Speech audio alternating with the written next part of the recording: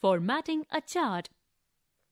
Formatting improves the appearance of a chart with change in color, adding title, text font, width, border, legends, data series, etc. Modifying the chart layout. A chart layout contains the information for the structure and design of the various charts. It determines how specific chart information will be displayed on the chart. To change, select the chart and click on the Design tab. In the Chart Layout group, click on any of the layouts. To see the complete list, click on the More drop-down arrow button. The layout of the chart will be modified. Additional chart formatting. The Format tab also has some important tools to modify the chart in many ways. By using this tab, you can change the chart outline, format the chart text, formatting various components of the chart, and many more. Changing the shape, styles, and color.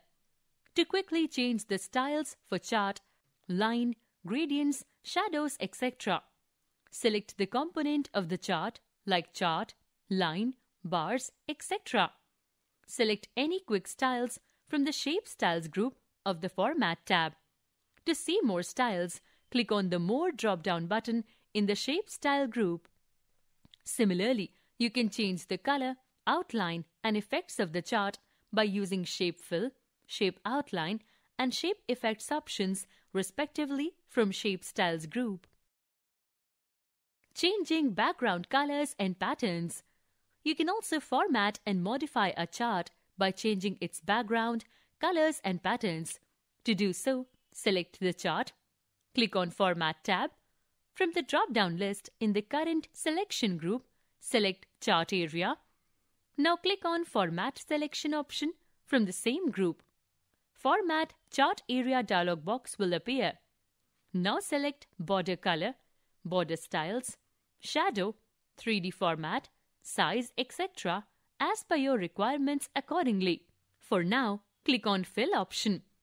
Now you can use a picture or a pattern to fill in the chart area. To fill a picture, click on Picture or Texture Fill in the right pane. Click on File button and select a picture from Insert Picture dialog box. Click Open button. The picture will get inserted in the chart area. Similarly, you can select a texture from the drop-down arrow next to the texture box. The texture will get inserted in the chart area. Click Close button when done.